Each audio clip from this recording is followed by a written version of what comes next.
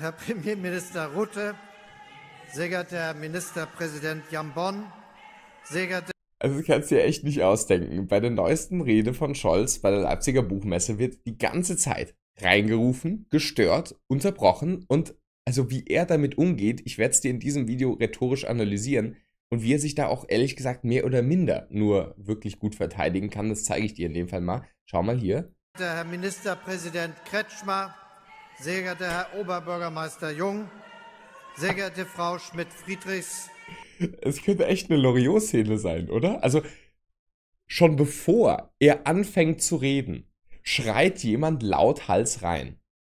Du kannst das nicht so stehen lassen und einfach so tun, als wäre nichts und deine Rede anfangen. So, da kannst du, das ist perfekt für dich als Rhetoriker, du schaust dir die Person an, lass die 5, 6, 7, 8 Sekunden lang schreien. In der Zeit hast du wirklich gut Zeit, dir eine schlagfertige Antwort zu überlegen, ganz entspannt und dann sagst du was dazu, aber gehst nicht nicht darauf ein. Sehr geehrte Frau Böhmisch, sehr geehrter Herr Bohl-Wagner, meine sehr das ist, das ist unglaublich. Also natürlich, ich empfehle es ja auch immer mal wieder. Es gibt Situationen, wo du, wenn Gegenwind kommt, erstmal ruhig bleiben solltest, weiter im Kontext sein so, gehen solltest und dir auch das, sage ich mal, kommunikative Zepter nicht aus der Hand nehmen solltest. Ganz klar. Aber Abraham Maslow sagt schon, wer als Werkzeug nur einen Hammer hat, der sieht jedes Problem nur als einen Nagel an.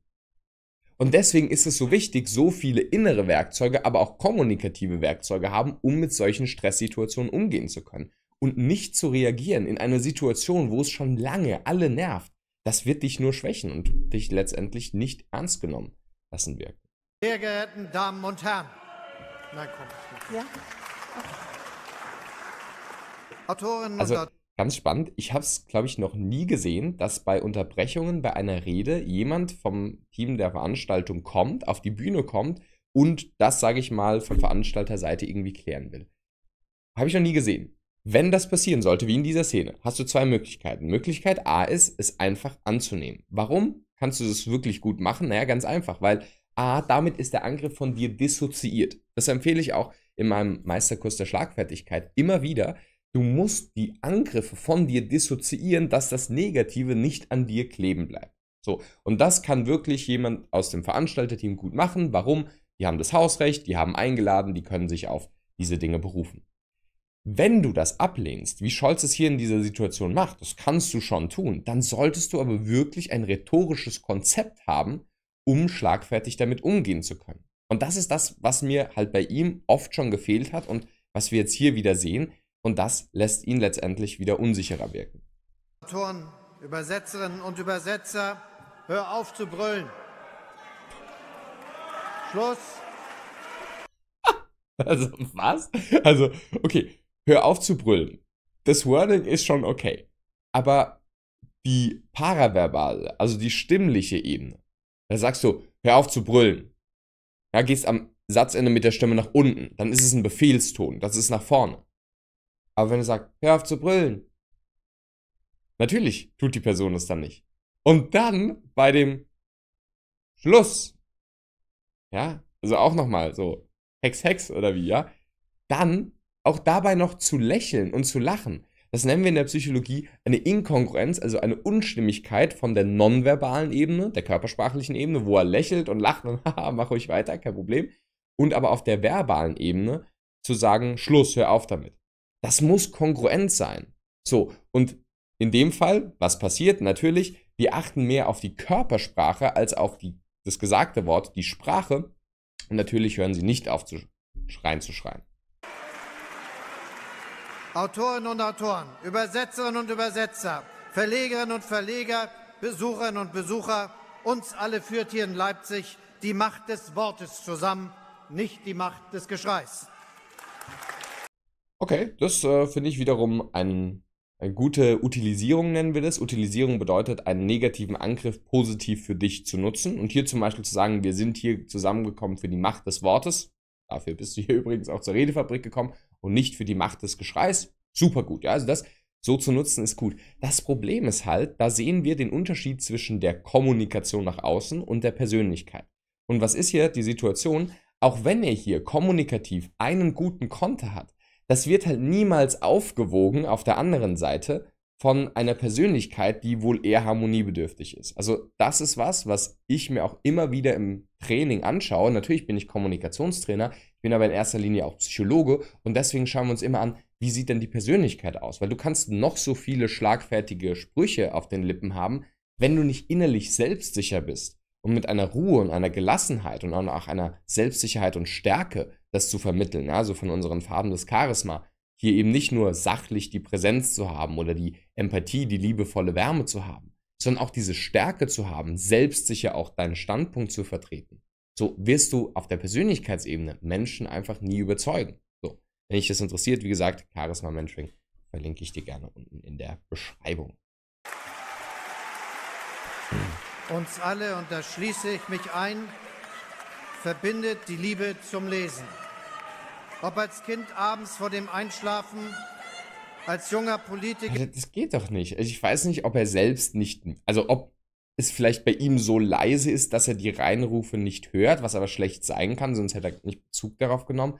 Aber das stört halt die ganze Gruppe. Das ist halt wichtig zu wissen. Wenn du vor einer Gruppe stehst, dann geht es nicht nur darum, ja, ob du jetzt als guter Rhetoriker gefeiert wirst. Das ist nicht der Sinn vom Thema Charisma.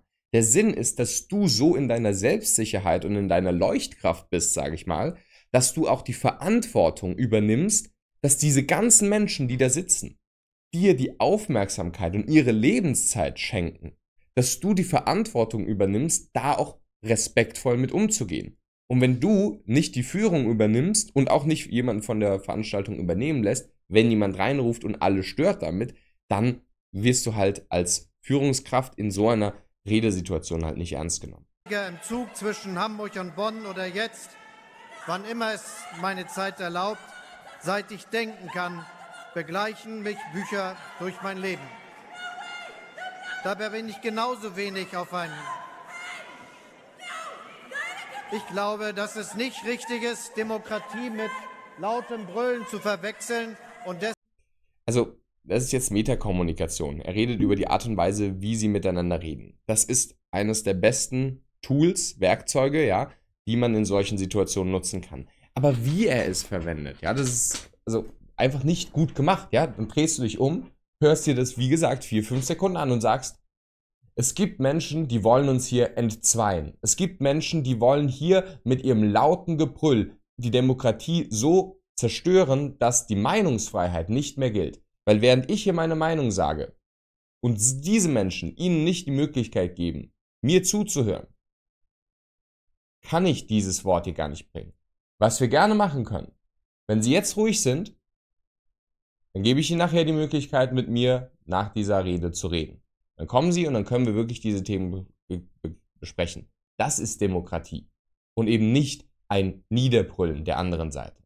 So, und dann hast du es irgendwie etwas besser mit eingebracht. Also es gibt noch viel, viel mehr Technik. Also es gibt ja ganz viel, wo du entweder wirklich äh, einen schlagfertigen Konter bringst oder sagst so, ne, lasst mich ausreden, dann lasse ich euch nachher ausreden. Oder was Lindner natürlich auch oft macht, der Person richtig auch ein, das, das Wort zu geben und ein Mikro zu geben, würde ich jetzt in der Situation auch nicht machen, aber das macht er einfach nicht gut. Und deshalb bitte ich nochmal allen, die hier anwesend sind, die Möglichkeit zu geben, an diesem Gespräch und dieser Veranstaltung teilzunehmen. Ich jedenfalls glaube, das wäre in aller Sinne. Also ja, inhaltlich gut gesagt, aber rhetorisch eben nicht gut verpackt. In so einer Situation zu sagen, also ich bitte nochmal alle darum, alle an diesem Gespräch teilhaben lassen zu können. Es ist kein Gespräch, es ist eine Rede, die du hältst. Und es ist okay, dass die Leute deine, also ihre Lebenszeit dir schenken. Ja, und dann kannst du in so einer Situation auch sagen, ich wurde hier eingeladen, um hier jetzt zu sprechen. Über diese Einladung freue ich mich sehr. Sie wurden in diesem Moment nicht eingeladen, hier reinzuschreien. Deswegen unterlassen Sie das Schreien und nachher können wir uns gerne unterhalten. Ja, so kannst du das einbinden. Aber ja, also ich fände das durchaus eine gute Sache, äh, alle an dieser Veranstaltung teilhaben zu lassen. Naja, gut, wenn die Ordner kommen und diese schreiende Person rausbringen, dann wird sie nicht mehr Teil von der Veranstaltung sein. Also das ist schon widersprüchlich in sich leider. Folgen wir denen nicht, die uns spalten wollen. Die ganze Gruppen guck mal, das finde ich jetzt wieder gut und es zeigt eigentlich die Dynamik hinter solchen Situationen. Er hat schon in seiner vorbereiteten Rede drin gehabt, lasst uns nicht denen das, die Macht geben, die uns spalten wollen. Das Einzige, was er macht, ist, er dreht sich um, zeigt auf die. Super gut utilisiert, super gut genutzt. Natürlich, wenn er nicht das vorgeschriebene Manuskript hätte, sondern selbstsicher und frei sprechen könnte, wie es viele andere Politikerinnen und Politiker gut können, dann hätte er das sogar noch, sage ich mal, etwas entspannter nutzen können. Aber jetzt kommt die Szene und was passiert? Er zeigt nur einmal hoch und schon applaudieren die Leute. Das zeigt, das Publikum ist sowieso auf deiner Seite. So, das Einzige, was du tun solltest, ist deinen Charakter zu entwickeln und deine Kommunikation so zu verbessern, dass du solche Momente und auch das Wohlwollen des Publikums, Capitatio Benevolentiae, das haben die äh, antiken Rhetoriker schon gesagt, das einfach nutzt. Es ist Gold, das dir die Leute schenken, aber anstatt dass du es wegwirfst, kannst du als guter Handwerker mit gutem Handwerkszeug, guten Tools, Werkzeugen, wirklich auch was Tolles draus machen. Und dann wird deine Rede anstatt halt irgendwie beschmutzt von rechts und links, dann wirklich auch zu einem beispielsweise schönen goldenen Schmuckstück am Ende des Tages, an das sich die Leute auch erinnern und sie vielleicht auch was für sich mitnehmen. Also das solltest du bedenken. In solchen Situationen es nicht einfach nebenbei so plätschern lassen, sondern aktiv darauf eingehen, wenn die Leute dir eh schon das Wohlwollen und ihre Lebenszeit schenken. Wenn dich das interessiert, wie gesagt, charisma-mentoring.de verlinke ich dir unten in der Beschreibung wünsche dir noch einen schönen Tag. Alles Liebe und viel kommunikativen Erfolg.